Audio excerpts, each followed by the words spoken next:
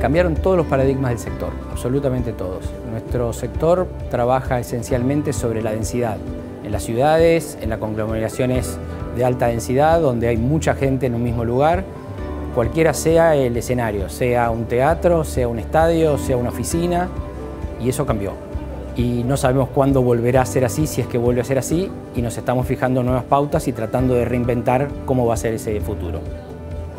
Como principal dificultad que atravesamos en los primeros días fueron las de implementar home office inmediatamente para todos, de un día para el otro, y tratar de transformar a working from home a home office, que son dos cosas muy distintas. Y la actual es sostener a todo nuestro equipo para que siga entusiasmado, trabajando, sosteniendo a sus familias o a aquellos que están solos, poder animarlos también. Hemos hecho hasta happy hours virtuales para poder sobrellevar este momento. Para mí no hay innovación si no hay una parte humana y la tecnología fue fundamental en esta innovación y ya se estaba instalando la, la idea del mundo sustentable, con lo cual tenemos que ir por esa vía.